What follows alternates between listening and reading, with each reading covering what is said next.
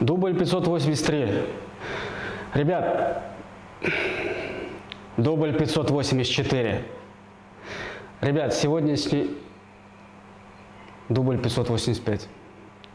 Ребят, сегодня я расскажу про наиболее распространенные заблуждения среди начинающих морских аквариумистов. И, возможно, кому-то из новичков это видео поможет избежать вот этих ошибок. Умников, которые и так все знают, прошу нахер выключить это видео, потому что оно не для вас.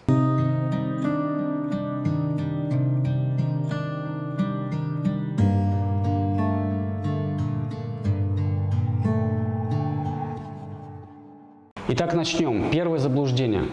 Большая подмена воды вредна для рифа и может разрушить его биобаланс. А, я считаю, что это неправильно. Вообще, вот все, что я сегодня буду говорить, это не, не истина в последней инстанции, а то, как считаю я. И мои наблюдения какие-то, и поэтому кто-то может быть не согласен, это вполне нормально.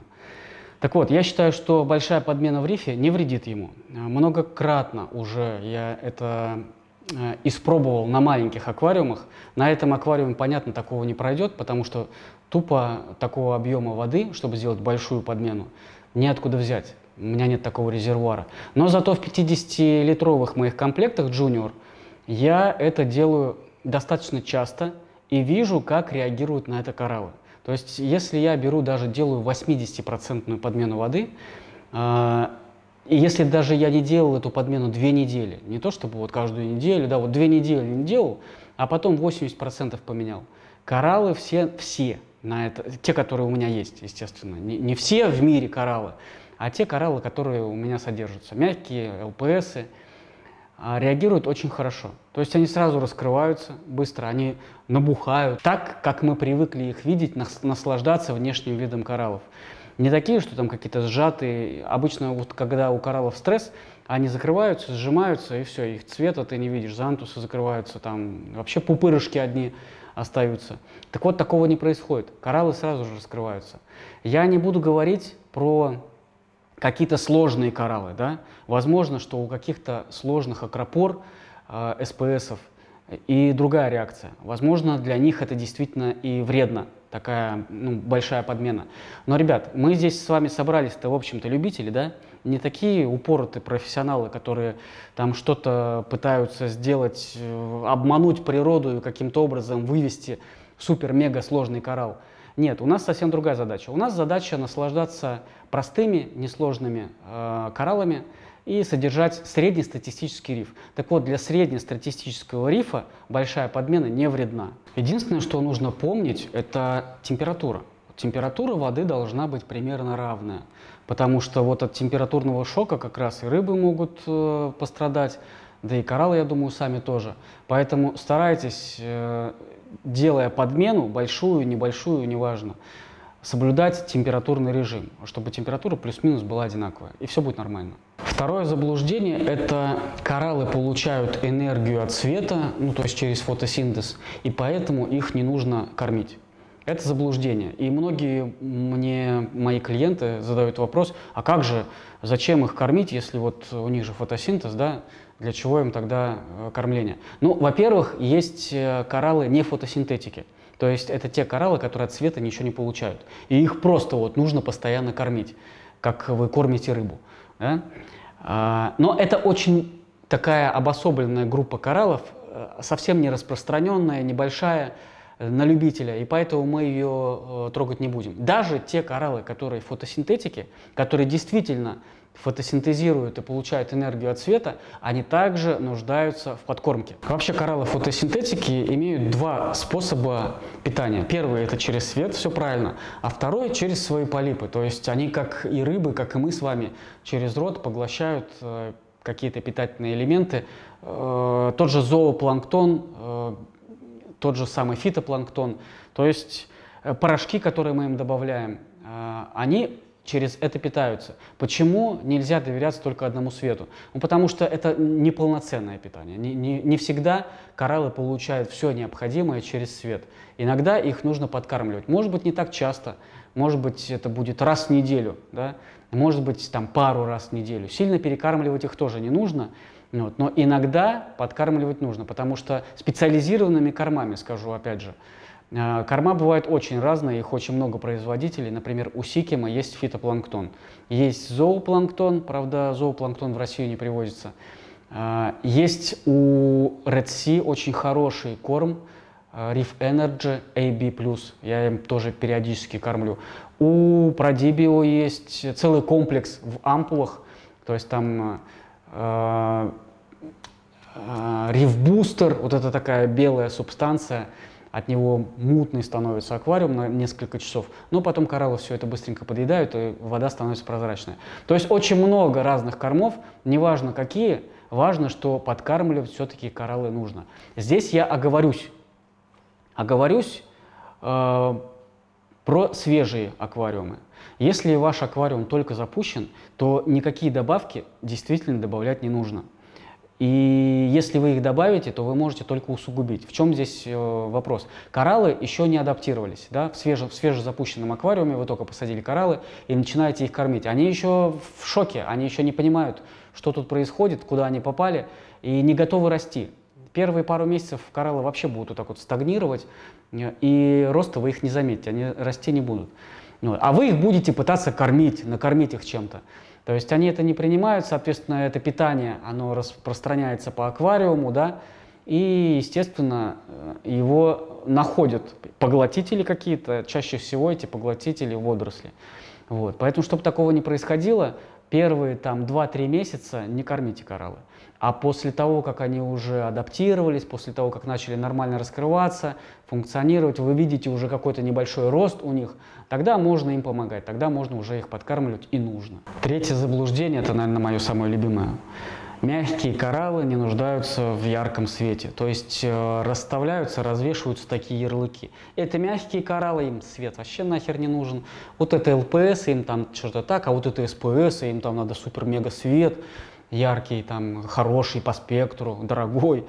На самом деле мягкие кораллы, есть некоторые мягкие кораллы, которые не меньше СПСов любят яркий свет.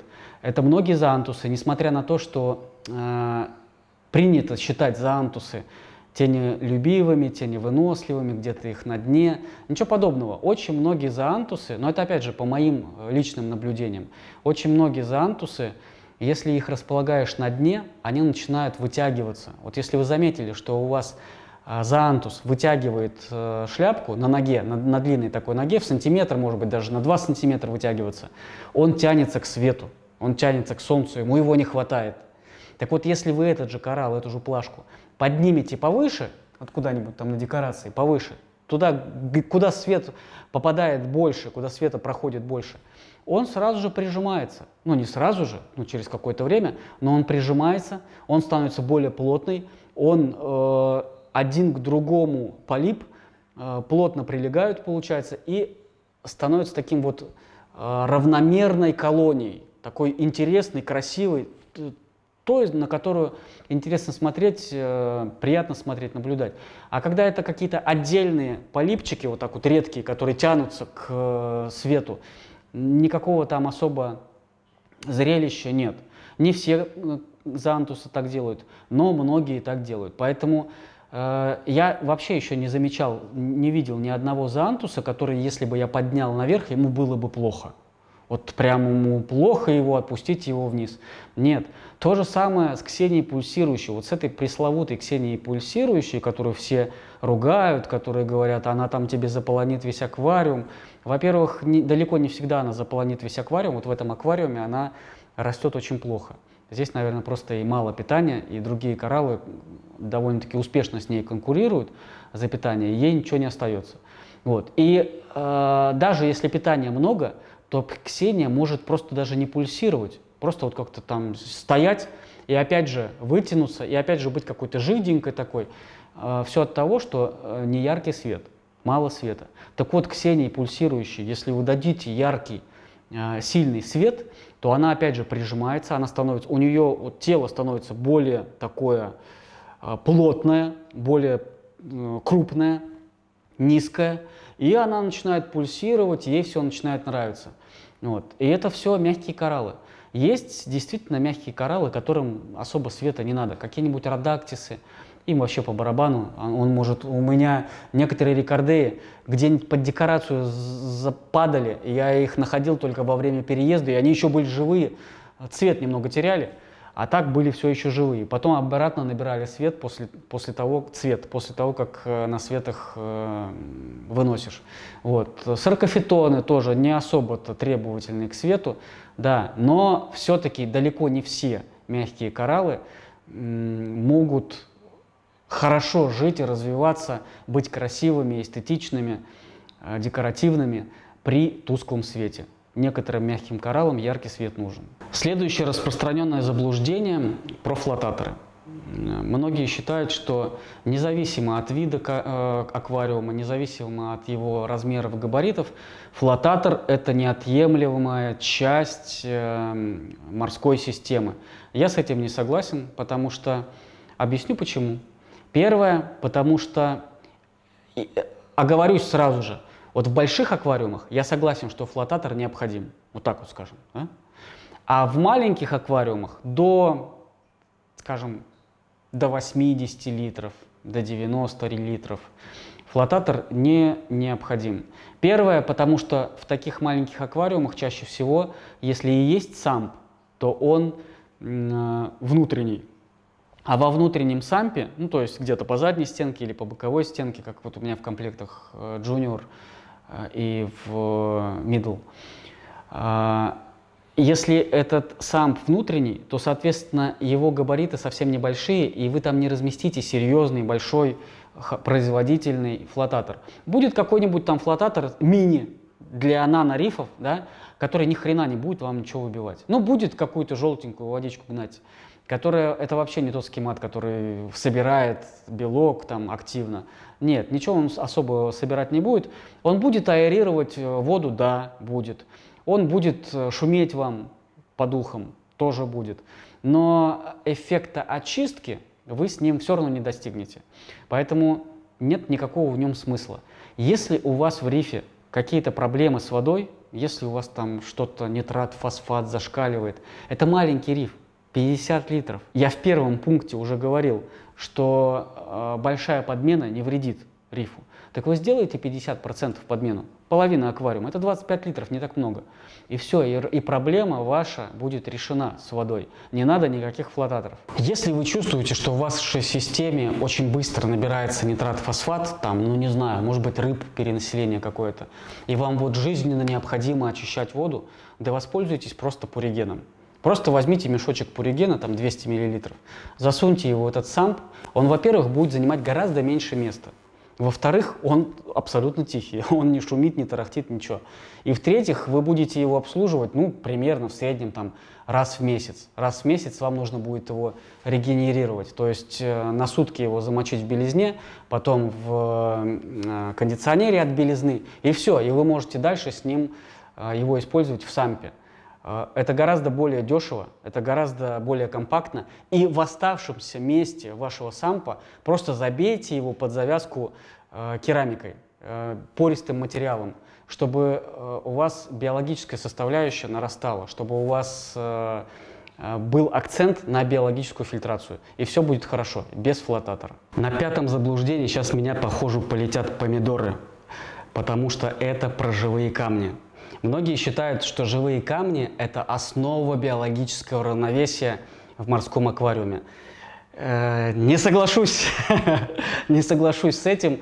И понимаю негодование многих риферов, которые прям вот олдскульные, которые не принимают никакие другие декорации, кроме живых камней. Но, ребят, давайте уже будем реалистами. Настоящих живых камней уже нет. Уже никто рифы не вырубает. Это запрещено практически во всем мире цивилизованном, не знаю, в нецивилизованном, наверное, тоже уже. Соответственно, то, что к нам приходит э, из живых камней, это оживленные, скорее всего, камни. Или какие-то искусственные камни, которые помещают в океан, в тот же самый. Да, да, они там же в океане могут полгода бултыхаться, наверное. Вот. И какие-то бактерии там э, заселяются. Но, во-первых, это не тот материал, который... Э, ведь живые камни — это, по сути, э, скелеты вымерших колоний кораллов. А это могут быть любые какие-то камни. Вот если вы возьмете там какой-нибудь камень, он тяжеленный, да, тяжелый, и там воды из него немного ну, вытекает. Это просто какой-то камень, который подержали в, э, в соленой воде, и он там каких-то каких бактерий все равно набрался, да. Но это далеко не то, что э, риферы привыкли изначально считать живыми камнями. Соответственно, вы не найдете сейчас, ну, может быть, я не говорю, что никто не привозит вот прям настоящие живые камни. Может быть, кто-то где-то каким-то образом добывает их. Но это настолько ничтожно малый процент, что, во-первых, даже в Москве очень сложно это найти, не говоря уже о регионах. И если вы нашли, вам посчастливилось, вы счастливчик, вы нашли э, настоящий живой камень, да, вам его везут куда-нибудь, куда? Ну, давайте, э, сильно далеко не будем брать, в Тюмень. В Тюмени уже довольно-таки холодно, да, и сейчас уже на улице не лето. Соответственно, когда э, вот тот путь, который будет этот живой камень проходить от э, Москвы до Тюмени, мы даже уже опустим, что было там, пока он шел из Индонезии до Москвы. Уже ладно, хрен с ним. Пока он шел из Москвы до Тюмени, это уже тот большой проделанный путь. Что-то там погибло. Пока от Москвы до Тюмени что-то погибло еще. В Тюмени, где-то в зоомагазине, да, Э, и если он не сразу непосредственно к вам пришел. Там еще что-то погибло. Так что у вас там живого? У вас там э, доживающий камень, получается, э, далеко не самый живой. И э, камень, в котором вот эта вся биология изначально пышущая жизнью, да, когда-то, а когда она погибает, это может даже усугубить ситуацию при запуске нового рифа, потому что то, что погибло в живом камне, оно же не уходит куда-то там, все, мы пошли, э, мы в этот аквариум не пойдем. Нет, оно так и остается там, и оно остается там гнить, перегнивать, и, соответственно, э, на запуске с таким некачественным камнем можно наделать э, больших ошибок на самом начальном этапе, которые потом будет очень сложно исправить. Поэтому далеко не всегда живые камни – это основа биологического равновесия. Возьмите любой наполнитель из э, старого рифа, да, эм, матрикс тот же самый, биокерамику, э, все что угодно, все, что включает в себя, э, ну, все, все что имеет высокопористость, да, и что включает в себя какие-то бактерии. Это будет вам более надежный вариант, потому что вы, во-первых, паразитов никаких не занесете, которые в живых камнях как за здрасте могут приехать. Во-вторых, никаких крабов, потому что в живых камнях, опять же, где-то, если вы его просмотрели, вроде бы там нет ничего, у него там очень много расщелин. Какой-то маленький крабик выжил, да, все, весь этот путь преодолел вместе с камнем, и потом по ночам он будет вам кусать ваши кораллы или, по крайней мере, скидывать их с рифа. Тоже не самое приятное.